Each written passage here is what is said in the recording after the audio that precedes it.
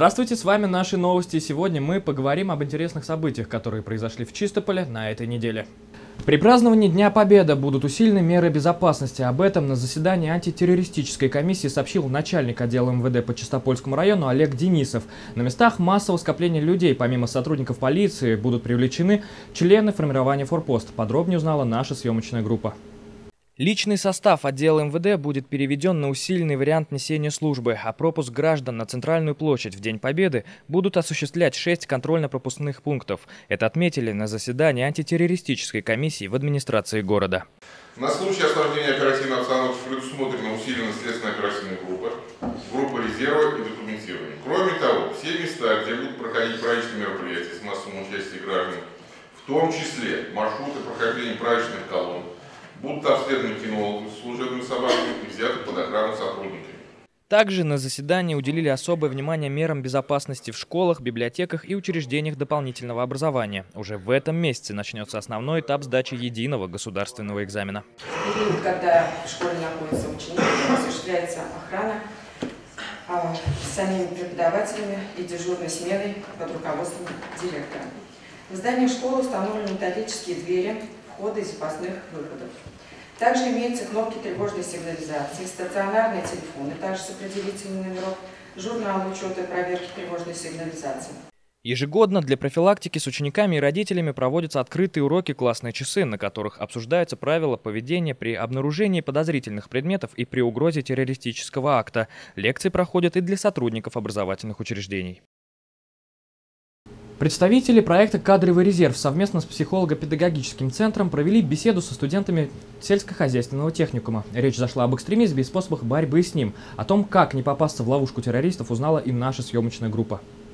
Представитель проекта «Кадровый резерв» рассказывает студентам о том, как не стать жертвой террористов. По словам специалистов, зачастую злоумышленники вербуют именно подростков и именно через социальные сети. В первую очередь вам будут навязывать мнение о том, что друзья плохие, семья не любит, там, все плохо, в мире все плохо.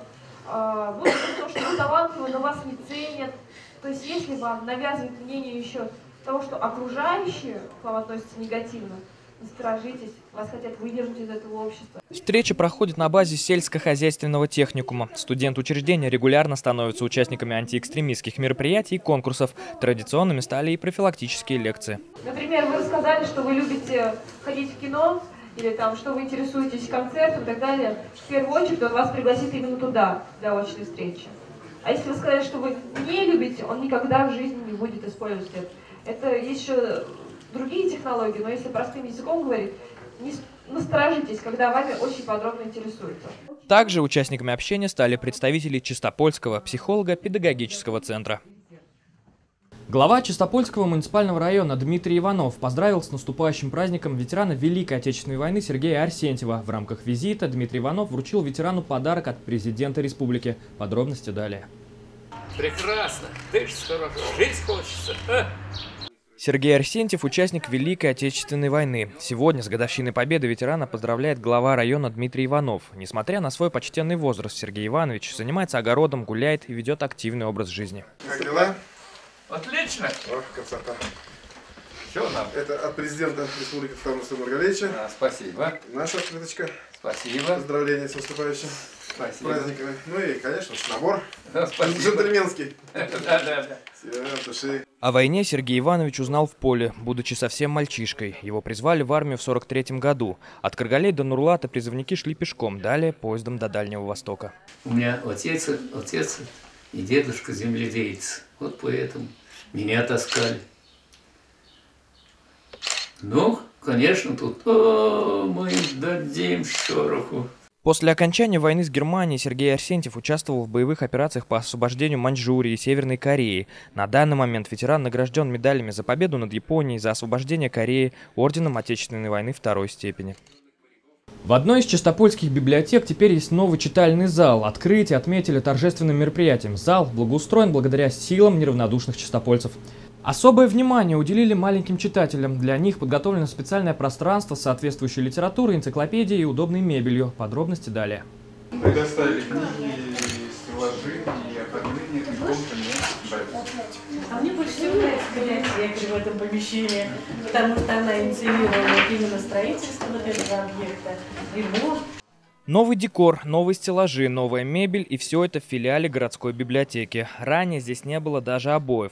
По сути, ремонт сделан своими руками. Помощь в создании читального зала оказали неравнодушные чистопольцы, которые подарили мебель, украшения и помогали с ремонтом. Откликнулись добровольцы из близлежащих деревень, родители детей, которые регулярно посещают библиотеку, читатели, и это не весь список. А главным инициатором является библиотекарь Елена Быкова. И вот так люди потянулись к нам, что кто-то что-то, кто-то что-то. И потом э, я уже понимала, что центральная библиотечная система все-таки так тяжело, каждый, каждую библиотеку надо ремонтировать, что-то делать. И поэтому я придумала, как э, мне начать ремонт. И я стала собирать макулатуру, мы сдали макулатуру 250 килограмм, на эти деньги купили клей и э, белую краску украсть окна. Новый читальный зал по душе не только взрослым, но и детям. Для маленьких читателей есть игровая зона и зона для чаепитий. Теперь в зале можно проводить неклассные уроки и другие мероприятия. И это удобно, ведь на базе библиотеки на данный момент работает детское литературное объединение «Свеча», где школьники читают книги и учат стихотворения. Танец, рассудки и воображение. Что же такое стихотворение? Ты вдохновение, ты озарение, вечность открытая нам на мгновение. В рамках открытия зала самые активные добровольцы получили благодарственные письма и памятные подарки. В Доме творчества детей и молодежи состоялся семинар для классных руководителей, педагогов и родителей. Мероприятие прошло в рамках проекта «Содружество поколения». Провел семинар автор множества программ для детей и педагогов Владимир Дергунов. Просто так, знаете, найдите слова какие-то добрые. Скажите, что это вообще важно делать. Это важно делать как можно чаще. Это называется, на земле надо набыться, набыться вместе. Работа никуда, работа никогда не кончится, а дети вырастут быстро. Как помочь ребенку в трудную минуту? Как обеспечить ребенку комфорт и безопасность? На эти и ряд других вопросов чистопольским преподавателям ответил почетный работник сферы молодежной политики России, автор множества программ для детей и педагогов Владимир Дергунов. Детям нравится учиться. Кабинетная система, новые предметы, им нравится, они тянут руку. Ну-ка ответьте. Интеллект требует работы. Почему ребенок тянет руку? Я решил первым, спросите меня, чего хочет мальчик. Спросите меня, чего? Признание, ситуацию успеха, похвалите. Согласны с этим? Общение проходит в рамках проекта «Содружество поколений». Подобные мероприятия прошли в Альметьевске, Заинске, Нижнекамске и во многих других городах республики. Также семинар включает в себя концерт-беседу для родителей под названием «Все начинается с любви». Это были не все новости недели. Подробности можете узнать на официальном сайте газеты «Чистопольские известия». Подписывайтесь на наш канал в Ютубе, ставьте лайки, присылайте свои новости. С вами был Сергей Крестников.